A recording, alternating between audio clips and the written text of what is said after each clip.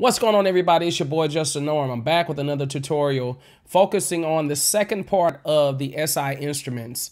If you recall, I did a video um, some months ago or maybe a month ago or however long it was. But uh, I had gotten to talking about the SI instruments, but I did not talk about the string section. So I'm going to focus on the string section and then focus a little bit more on the other instruments to answer any questions that you may have about how to use it. So first things first, I already created a track for a string section. If you're not sure how to do that, all you have to do is just right click. Um, I, I, call it a little gray section. You know, there's probably an actual name for it, but right click and insert instrument and then go to SI string section. Once you have it created, then basically all you need to do is click on the little keyboard, right? That's on the track and you'll hear sound. I am using my Impact LX25 by Nektar. Um, so if you don't have a controller, you definitely can use your mouse to play the sounds, which is what I'm doing right now. Or you can use the virtual controller.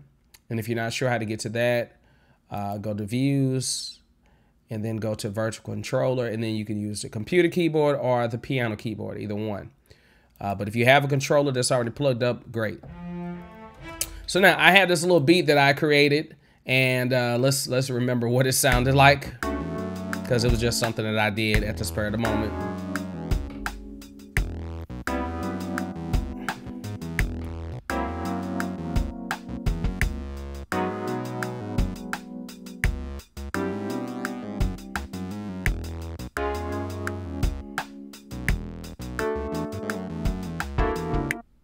Okay. All right. So it's a little something different. All right. Now, this is sectioned to three different parts. It has the violin, it has the cello, and it has the bass. I don't know why they don't have a viola. So when you know you go from certain notes, it's going to switch to that other instrument. Some on violin. Okay, so when I get to, um, this is my middle C right here. And then when I go to B right below that, then it switches to the cello and then the cello will be there and then still in cello range and when I go down an octave okay? So when I go it seems like when I go from C to B I switch to the other instrument so now on the bass. There is attack on here so you can it's kind of like compression basically you control that the attack and release you can add chorus on it. You can add reverb to it. Uh, you can change the tone. Okay, just gonna make it if you want a more darker sound. If you want it brighter.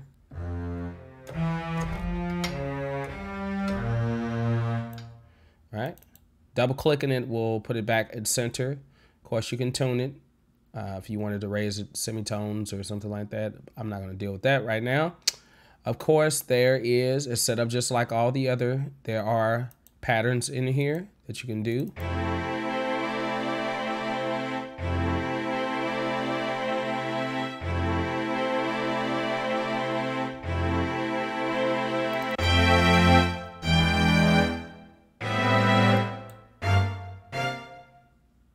That sounds very familiar, chord, chord progression wise.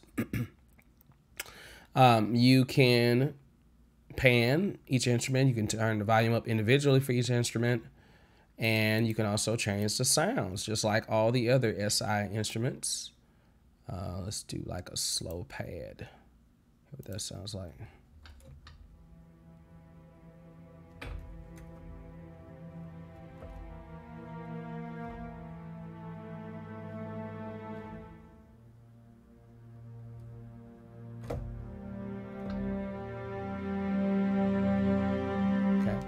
Pretty beautiful. Uh, that would be great if I was going for something that's more suspenseful. Uh, suspenseful. I'm sorry, you all. I'm having a hard time talking today. Uh, whew. All right. So anyway, but say I wanted to go ahead and record something. Uh, I'm going to go up an octave. I'm just going to use a cello for now. Um, once again, this is not dealing with proper theory and proper uh, placement of these notes. I'm just doing this for a tutorial purpose. Um, even though the progression that I created is totally different. I, I mean, I might feed off of it, might do something to it, but uh, this is not going to sound like sonically correct. I'll put it like that. Oops. Started recording. I need to go back to the beginning. Oh, if you want to, if you want to go back to the beginning, you can press W on your keyboard and that'll take you back. Sorry, I keep bumping into my mic. Let's record.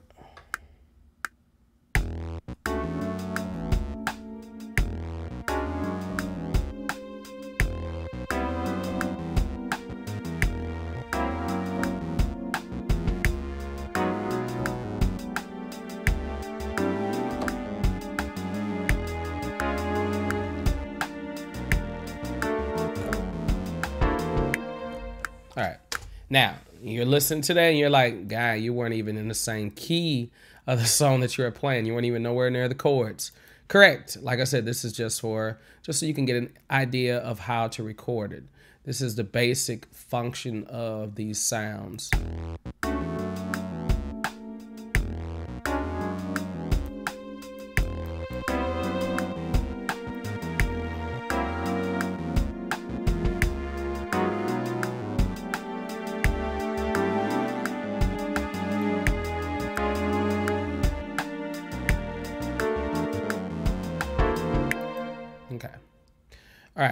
Um, awesome. Sounds good.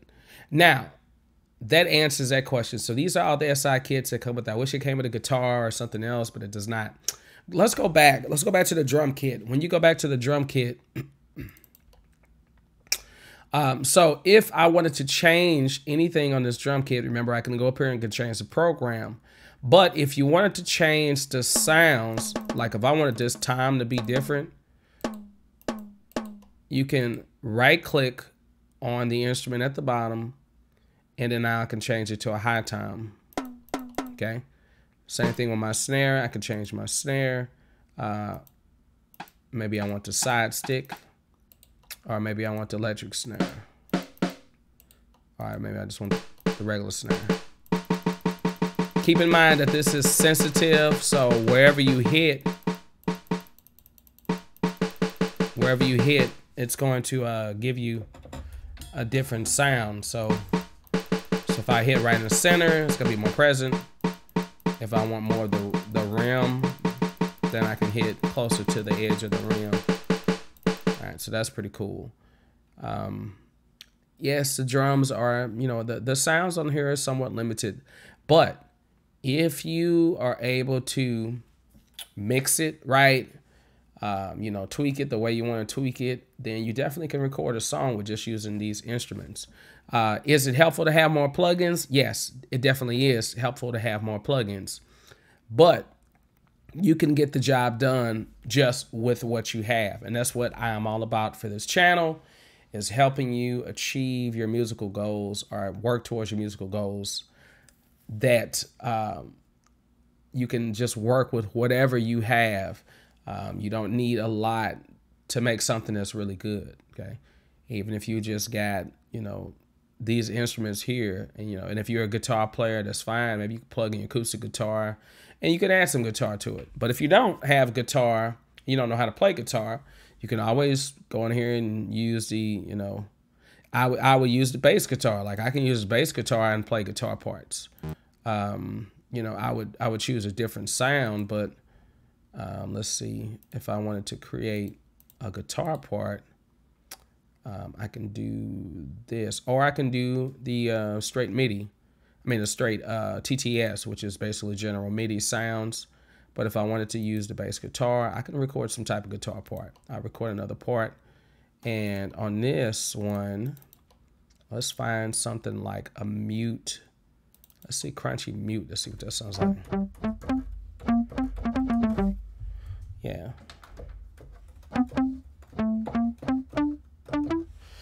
So now it doesn't go as high as I might want it to go for a guitar, but that is okay because I could always put like an effect on it to make it go higher or I can tune it up.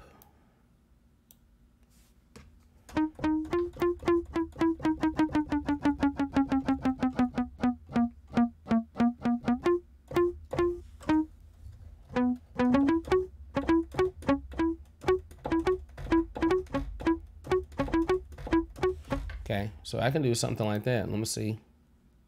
See what this is going to sound like. This is experimentation, you all. This is on the fly experimentation.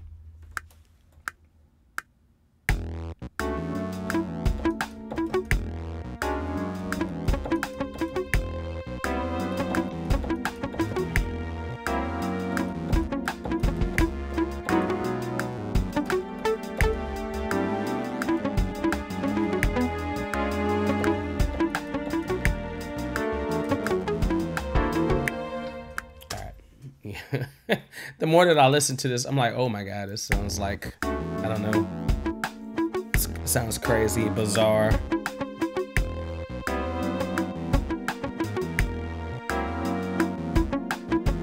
Okay, now, like, check this out. Like, if I wanted to do more to this guitar sound, I could apply an effect to it, and I can apply an effects chain, or I can go down here effects and let me find out where it is.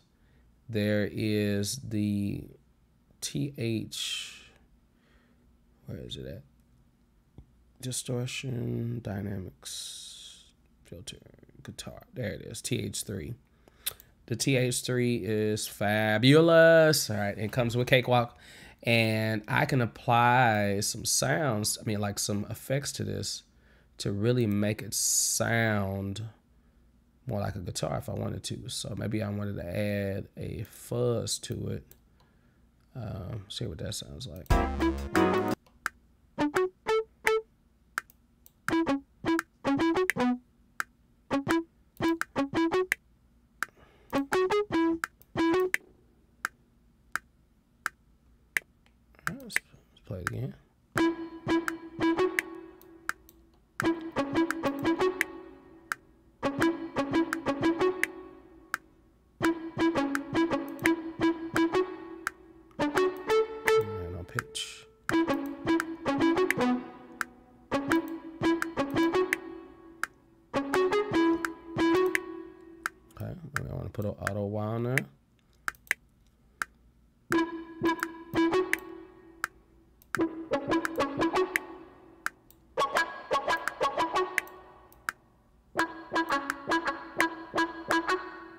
Okay.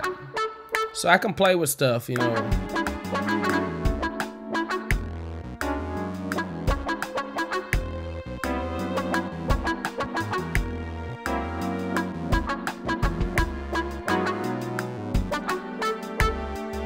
Okay. All right. So you get the idea of that, you all. It, I mean, you just have fun with these instruments and uh, you try to create whatever you can with what you have. Now, am I saying only use the plugins within Cakewalk? I'm not saying that at all. You definitely should invest in whatever you think that you need. But I'm here to tell you that this is all, this is the bare necessity of what you need. Um, like I said, if Cakewalk came with a guitar, that would be great. But you do have the General MIDI TTS, um, which is very helpful. So I can go down to General MIDI, Cakewalk TTS, and this has some decent sounds in it. Uh, these are like generic sounds. But once again, you can take those generic sounds and you can add some compression and some EQ and add a little effects to it and you can make it sound like something totally different. So you all just just keep in mind that with any instrument or any plugin that you use, you can always manipulate it to make it sound different.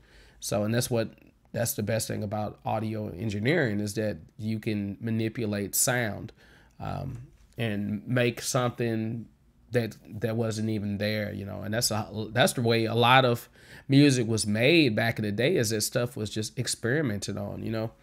Um, you know, what happens if I take this instrument and instead of um, you know, instead of playing it this way, maybe I add, you know, I don't know, add some tape to it or whatever. Like I add some tape to the bell of my trumpet. What is it going to do to the sound? Is it going to change the sound a little bit? Yeah, it's going to change the sound a little bit. Uh, I like that sound? You know, so these are the things that you need to think of. And when you're working on your project, you never know what's going to come out of what you're working on. So don't don't stay in the box. You know, don't stay in that box. Get up out the box because there's a lot of things that you can do. Um, this is a short tutorial, you all. My time is crazy right now. I'm back teaching full time at school. So uh, this is just very short tutorial to help you out. All right. If you liked what you saw, definitely subscribe. Click the notification bell so that way you get notified every time I post a new video. All right. Love you all. Thank you for 300 plus subscribers. I'm on my way, you all. I'm on my way. Thank you. All right. Take care.